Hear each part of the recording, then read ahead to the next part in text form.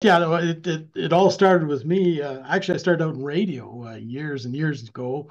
Uh, probably about 50 years ago, this very uh, very month almost, uh, in a small town of Weyburn, Saskatchewan, is where my first uh, radio job was, and that was right out of not right out of high school, I think a couple of years out.